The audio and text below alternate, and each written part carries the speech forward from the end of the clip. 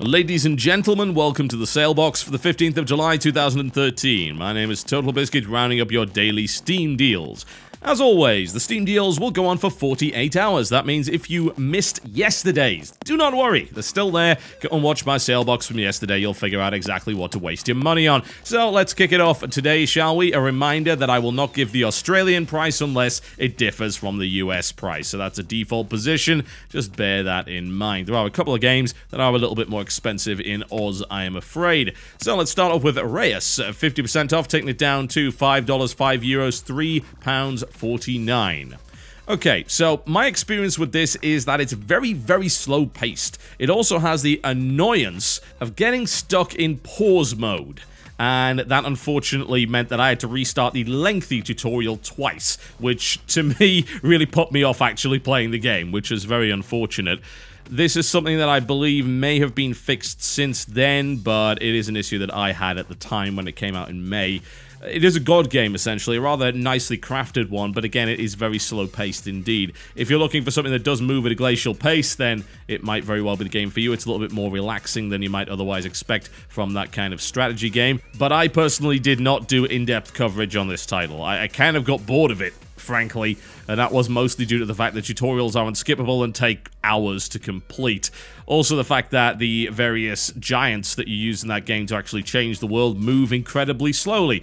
So it is not a game that really gets along at all that great a pace. If you want a better impression of this, I'd go and look at Northernlion's video on Reus because it does cover the game significantly better than I can. As I said, I think this is going to be a game that is very much aimed at a certain kind of player, and if you're looking for something a little bit more fast-paced, then you're not going to find it here. Killing Floor, 80% off, takes it down to $4 at €3.59 and $2.99 in Tier 2, as well as £2.99. This is my favorite kill a bunch of zombies games. I've said it time and again, I believe it's better than Left 4 Dead. Admittedly, it's kind of unfair to suggest that because it's not really the same kind of game. Left 4 Dead is a game about getting from A to B. Killing Floor is a game about just surviving and getting to the end of the waves. You are also able to buy weapons in between rounds. It has some of the most satisfying gunplay that I've seen from a game like this. It also has a phenomenal amount of support that was put into the game after launch. It's quite a lot of DLC for it. Most of that is 50% off as well well. The community weapon pack is worth having. Golden weapon packs are just kind of... They're purely cosmetic, so you don't really need them, as are the character packs, but they're a lot of fun to have regardless. This is a title that has a ton of content in it and is a huge amount of fun to play with friends, and the satisfying gunplay really does keep that game going, as far as I'm concerned. There is no game where it is more fun to pop the head of a zombie than Killing Floor, and as a result, I would heartily recommend it. Not worth playing in single player, though. Just want to point that out. Doesn't really have a good single player mode. It's very much co-op throughout the title. Terraria, 75% off. That's $2.49, 2 euros 49, 1 pound 49. Pretty good. I think you know my opinions on Terraria, quite frankly. There is a big update coming out quite soon. This is probably a good time to grab it. For those of you who don't know what it is, well, we did a very lengthy series on the channel and may do more, perhaps. We'll see. And it's very much a 2D world exploration game combined with some Metroidvania. If you're looking for construction in the style of Minecraft, you won't find it here, but you will find a good solid progression system and a lot of fun to discover. Terraria is really solid, and now that the dev is back on board providing support, it is very easy to recommend it.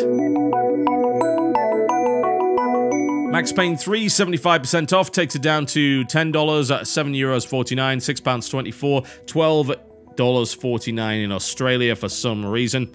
My opinion on Max Payne is that it's the worst Max Payne game. Uh, Max Payne 1 and 2 are, in my opinion, a hell of a lot better than this, and thankfully you can also get those if you so desire.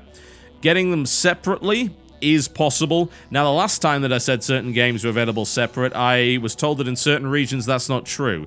So do just bear that in mind. Max Payne 1 and 2 are both available for $2.49 each. Max Payne Complete comes with Max Payne 3. The Max Payne Bundle is 75% off and is $3.74 or your regional equivalent. So I would have a look at that. The reason I don't like Max Payne 3 is it's got far too many cutscenes, not enough action. It's consistently interrupting you, and it does a pretty poor poor job of telling the story through annoying, unskippable cutscenes, as opposed to the graphic novel style and through the gameplay that can be done with the original Max Payne games. That's the problem I've got with it. I don't think it's a very good Max Payne game. The game has like three hours of cutscenes, which for me is something that I absolutely hate. So I would recommend Max Payne 1 and 2 if you're looking for the gunplay, great level design, and excellent storytelling and exposition. You will not find that in Max Payne 3. A lot of people disagree with me. The gunplay in Max Payne 3 is pretty good. It's hard to argue with that. But my problem is it constantly interrupts you. Stop interrupting my slow-mo bullet time shooty fest. I like that. Let me do it. Dawn of War 2 Retribution, 75% off, taking it down to $7.49, 5 euros, 5 pounds, and $10 in Australia. This also includes the other Dawn of War games. All of these titles are standalone, so that's something to bear in mind. You don't actually have to buy all of them. The complete pack is available, which comes with both expansions and the base game. The franchise pack comes with it comes with a lot of stuff, honestly, and you don't need any of it for the most part. So I would heartily avoid the franchise pack, honestly. It is kind of a waste of your time. Most of the DLC for this game is a bunch of war gear, which is irrelevant, and some cosmetic stuff, which is nice if you happen to have a particular favorite faction within the Warhammer 40,000 universe. I would suggest picking up the base game. While Retribution does add extra races and also allows you to play the campaign with all of the races as opposed to just Space Marines, I think the campaign for the Dawn of War game and for the expansion Chaos Rising is significantly better. It's more focused, it's got better in-game character development, it's got more loot, it's just a better title in general. I found Retribution's campaign to be very repetitive. It had a lot of very clony levels, and each individual campaign was not as strong as you might imagine as the full Space Marine campaign for Dawn of War 2 and Chaos Rising. The titles are squad-based tactical real-time strategies. They do not emphasize base building. They emphasize the construction of units and the equipment of said units. That was disappointing for some people because they actually liked Dawn of War 1, which had base building in it, but it does have the same kind of control point gameplay that you'll find in the original Dawn of War, as well as titles like Company of Heroes. It's a good price for Retribution, but really this is the kind of expansion that I'd only recommend to people that have already played and enjoyed the original Dawn of War 2 and its expansion pack. Otherwise, grab yourself a copy of Dawn of War 2 and get to it. The campaign for that game is excellent. Sins of a Solar Empire Rebellion, 75% off, takes it down to $10, 9 euros 24, 7 pounds 49. I've been in two minds about Sins of a Solar Empire for quite some time. The one hand, I see Sins of a Solar Empire as being a very enjoyable 4X light RTS. Yeah? It's really a real-time strategy with some 4X elements in it, rather than a true 4X. It does have some fairly fun combat, but it tends to get very blobby. There's not really a lot of control involved in it. It's more a case of throw the bigger army at the enemy. There's also quite a lot of passive play, especially against the AI, where you can kind of sit there playing for hours and hours and not really get anything done. But the multiplayer community tends to help out in that respect, since it does feature a significantly uh, more aggressive player base. I think you'll find a lot of enjoyment in this, honestly, if you've never played anything like this before. Rebellion is a standalone, which means that it does include the functionality of the previous games, and it's the best way to experience this title, considering you don't have to pick up entrenchment and diplomacy. It is a game about empire management, combat, and research, and it also has a fairly in-depth diplomatic system. It had an entire expansion dedicated to that, and it's also doubled the number of factions by having a loyalist and a rebellion version of each of the main three. It's pretty damn good at this point, and I would actually recommend it if you're looking for some action RTS with a little bit of 4X sprinkled in for good measure. Dust: An Elysian Tail takes it out at $7.50, €6.99, and £5.99. Definitely an unexpected surprise, in my honest opinion. I think that this is a title that really impressed me more than I thought it would. The art style may put some people off. However, it's a really great action game that's very well realized with a very engrossing world. It's got plenty of exploration in it, it's got an awful lot of fun combat and colorful characters. The voice acting leaves something to be desired, I have to say. I think there's a couple of characters in that which are rather annoying to say the least, and then there are others that are fairly well done. I don't think the main character is that well done, but I think the supporting cast is. It's a phenomenal achievement when you think about it. It was done by a single guy. He did the game design, he actually coded the damn thing, and he did the art, which is very, very rare indeed, and all of them turned out to be very good indeed. I have to say, the PC port is great. It's something that I think you should experience. It's got a good 10 to 12 hour long campaign. The only thing I would say is that you should crank the difficulty up because the default is very, very easy indeed, and the game can be beaten pretty much by spamming one move. This becomes less of a problem when you crank that difficulty all the way up. So a hearty recommendation for Dust and Elysian Tail. Wargame Air Land Battle, 50% off, takes it down to $20, 20 euros, and £14.99. Not a ground-shaking discount, but it is a fairly recent release. Now, I didn't do a video of this, but I have played it quite extensively. The reason I didn't do a video is because I was trying to actually get a game together with Northernlion, but we weren't able to connect for some reason. We tried and tried and tried, but the multiplayer did seem to have some bugs at the time. That was about a month ago, though.